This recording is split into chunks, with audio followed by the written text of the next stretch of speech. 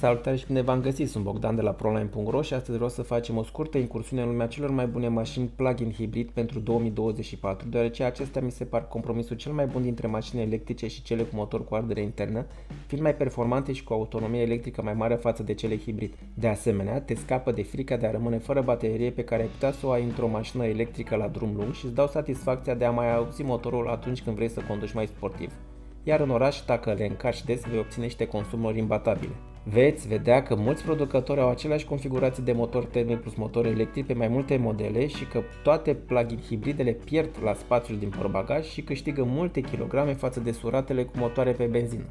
Începem cu o mașină pe care o aș pune în top 3 dacă aș vrea să-mi cumpăr o mașină practică, spațioasă și cu autonomie electrică decentă, Passat Break GTE, care are autonomie între 50 și 60 de km electric și portbagajul foarte spațios, chiar dacă scade cu aproape, aproape 180 de litri, tot ajunge la 500 în varianta break, iar greutatea crește și ea cam cu 200 de kg față de o variantă pe benzină. Aceeași configurație de uh, baterie de 13 kWh, uh, motor electric de 110 cai și motorul termic de 1.4 TFSI care împreună dezvoltă fie 204K, fie 245 cum este în această configurație RS, o regăsim și pe Skoda Octavia 4, care în opinia mea este o alegere mai bună decât Passatul, chiar dacă în spate materialele de pe portiere se văd a fi de o calitate mai mică și evident insonorizarea mașinii este mai slabă față de un uh, Passat. Totuși acest uh, pachet mie mi se pare extraordinar de bun chiar dacă nu alegi versiunea RS, care e un pic prea sportivă în opinia mea, dacă tot vrei să-ți iei o variantă de mașină economică în oraș. Portbagajul rămâne la niște uh, dimensiuni onorabile. Octave este cu aproape 100 de kg mai ușoară decât uh, Passatul Break. Iată, portbagajul este suficient de spațios în opinia mea. Veți vedea că alte brecuri, chiar dacă sunt mari, portbagajul este foarte mic pentru că toți montează bateriile sub podeaua portbagajului. Aceeași configurație o găsim și pe Golf 8 GTE, de acolo portbagajul ajunge la doar 270 de litri, ceea ce este penibil. Acum trecem la un alt producător mult mai spectaculos, este evident, uh, se poate vedea BMW 330e. Configurația pe care o are BMW-ul și pe 330e și pe 530e este următoarea, baterie de 12 kWh, autonomie mai mică față de ce oferă grupul VAG, 35-45 de km, puterea motorului electric este aceeași, 110 cai, doar că motorul termic în loc de 1.4 turbo este 2.0 turbo, astfel că împreună acest uh, pachet generează 292 de cai, care deja este o valoare destul de mare și implică și niște performanțe pe măsură, doar că și așa BMW-ul Break nu era foarte spațios ceea ce privește capacitatea portbagajului, astfel că în varianta plug-in hibrid ea scade și mai mult, cu aproximativ 100 de litri, 130 de litri în varianta seriei 5 și ajunge să ai un, uh, și astfel ajungi să ai un portbagaj uh, destul de mic pentru un break, dar pentru un break sportiv. Nu știu cât de sportiv mai este, având în vedere că mașinile iau în greutate între 200 și 250 de kilograme uh, din cauza uh, bateriei din portbagaj, astfel că ai senzația că în spate car tot timpul 3 oameni, ceea ce clar va afecta manevrabilitatea. Evident, finisajele sunt la cel mai înalt nivel, aici nu găsim materiale de proastă calitate, dar uh, și prețul este pe măsură.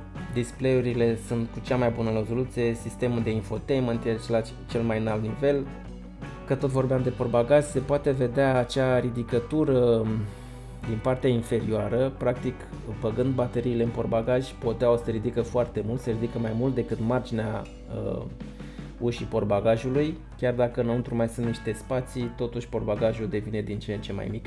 Așa cum ziceam, aceeași configurație se regăsește și pe uh, 530e, aceasta este varianta uh, facelift, în opinia mea, autonomia electrică este destul de, de mică.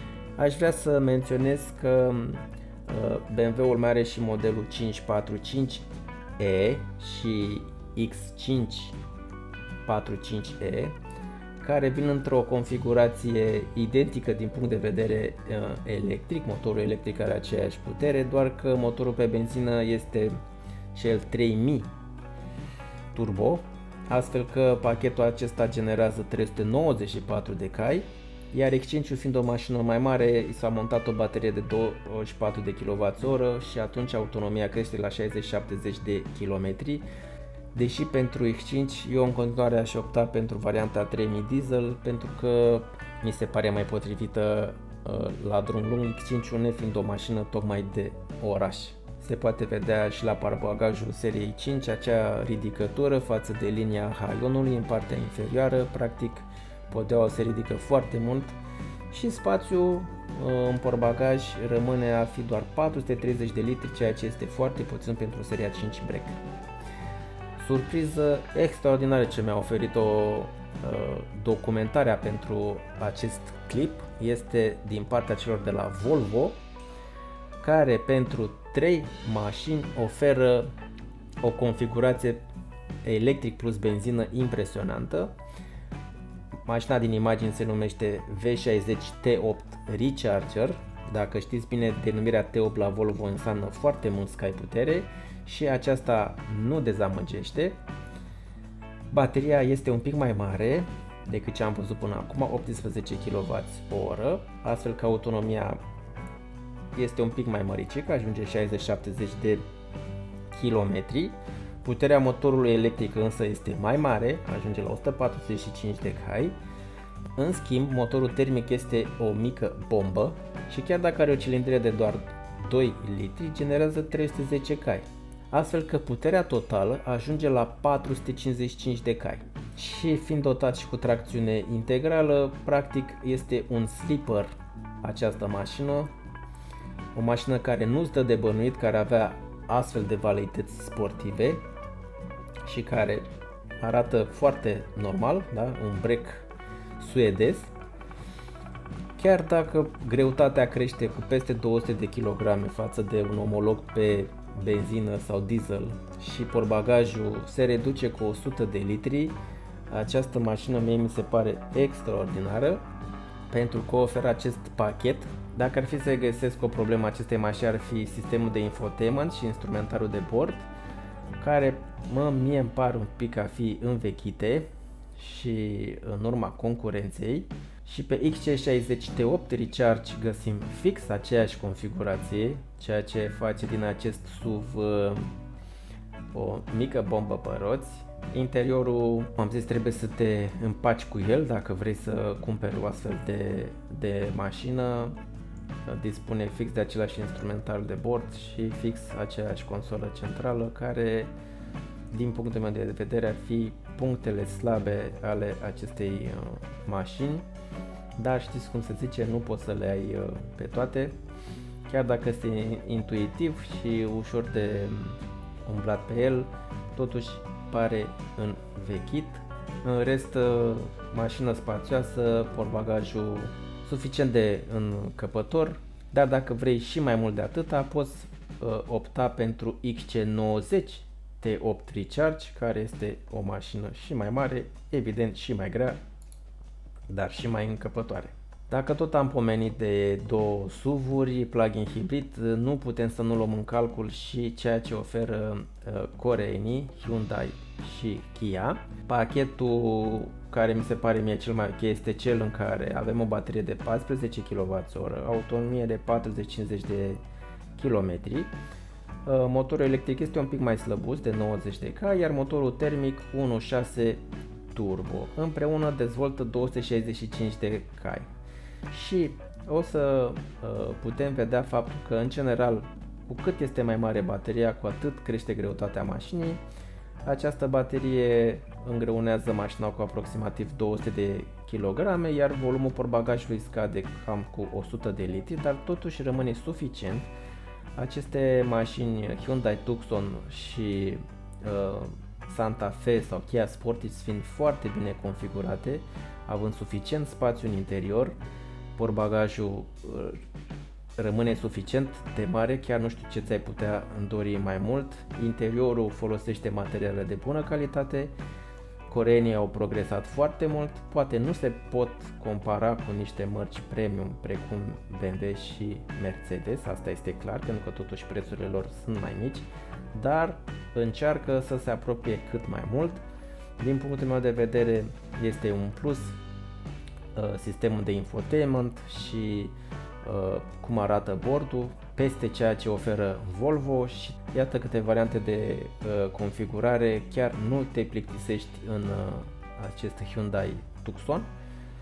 Și dacă vrei mai mult spațiu treci la Santa Fe care are fix aceeași configurație. Acum nu știu dacă poate fi un pic submotorizată această mașină pentru că ajunge să cântărească 2 tone și 265 de cai poate părea puțin, dar uh, sunt de părere că cine își cumpără astfel de mașini le conduce liniștit și este preocupat mai mult de confort.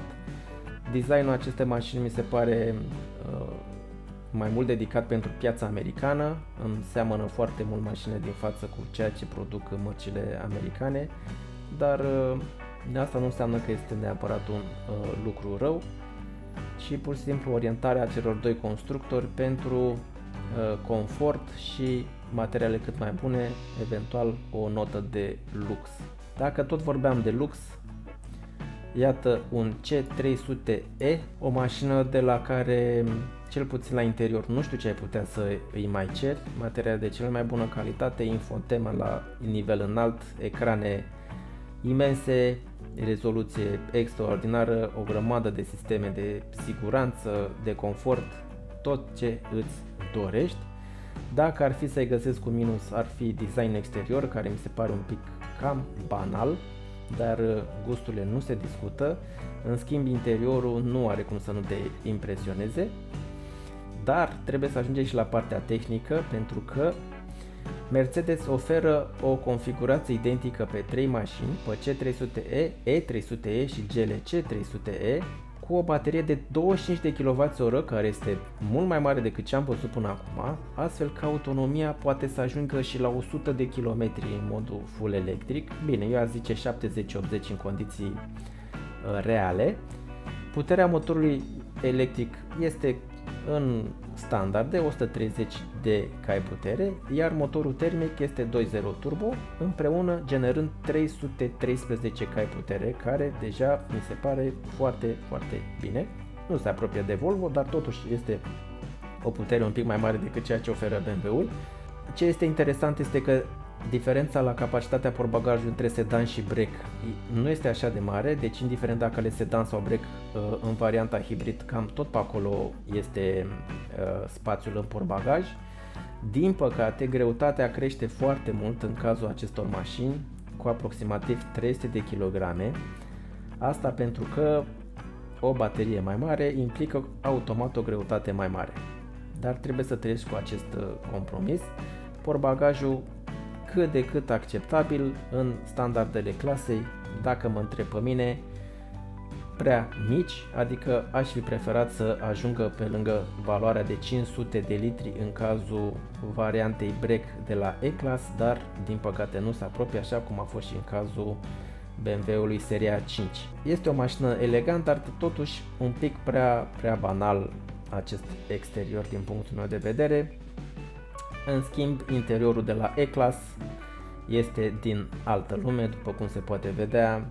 Uh, practic tot bordul este un ecran și este spectaculos, n-ai cum să nu te bucuri de tehnologie dacă vezi așa ceva. De infotainment spectaculos, uh, nu există lag, nu există rezoluție de uh, slabă calitate, deci totul este la superlativ și aș putea să zic că ce oferă Mercedes-ul este peste ceea ce oferă BMW-ul fix la aceste două clase, da, dacă compar seria 3 cu C-clasul și EU cu seria 5, mi se pare un pachet mai bun în ceea ce privește plug-in hibridul. Evident, Mercedes-ul fiind dintotdeauna orientat mai spre lux, dar nici BMW-ul nu mai poate fi sportiv cu 250 de kg în portbagaj. Și dacă tot pomenim de sportivitate, Mercedes oferă și două variante extraordinare din punctul meu de vedere care se numesc C63 AMG S Plug-in Hybrid. Asta pentru că au pus o baterie foarte mică de 6 kWh, autonomia este de 12 km, dar tin să cred că este mai deloc, doar că acest pachet, atât pe C-Class cât și pe GLC, ajunge să producă 680 de cai putere și 1020 de Nm pentru că motorul electric are 200 de cai, iar motorul pe benzină turbo are 475. Ăsta da plug-in hibrid. Ajungem la o mașină foarte populară, dacă te uiți pe străzi o să vezi foarte multe Toyota RAV4, asta pentru că este un pachet complet. Din punctul meu de vedere, mai ales în varianta plug-in hibrid, oferă cam tot ce poți să-ți dorești de la un SUV de această clasă, cu mici amendamente. Și anume, bateria are 18 kWh, deci autonomie să zicem de 50-60 de km, doar că motorul pe benzină este aspirat de 2,5 Asta pentru mine reprezintă un avantaj pentru că este evident că un motor aspirat va fi mult mai fiabil decât cel turbo. Puterea totală ajunge la 306 cai. Portbagajul pierde și 100 de litri, greutatea crește cu 200, aici este tot un standard, problema intervine la infotainment și la anumite materiale, volanul ăsta zici că e de pe AIGO, iar tableta aceea din bord chiar este veche. Nu știu de ce cei de la Toyota nu vor să îmbunătățească acest aspect.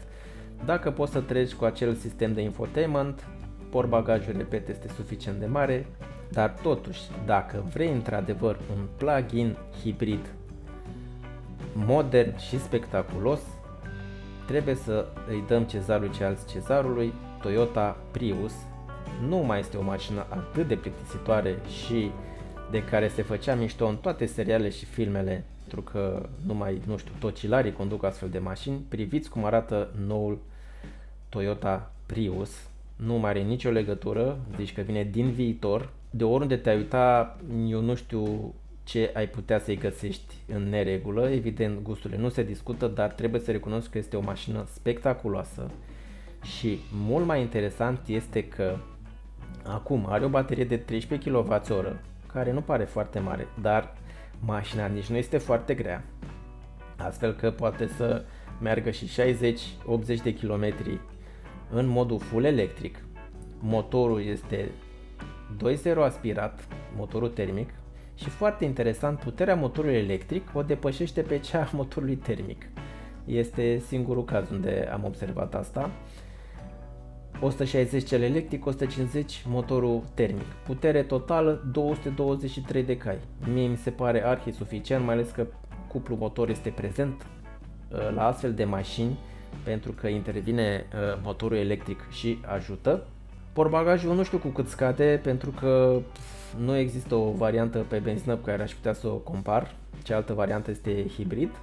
Greutatea și cum nu este uh, foarte mare, în jurul a o tonă și jumătate, ceea ce este ok. Majoritatea mașinilor plug-in hibrid uh, depășesc cu 2-300 greutatea echivalentă modelului pe benzină.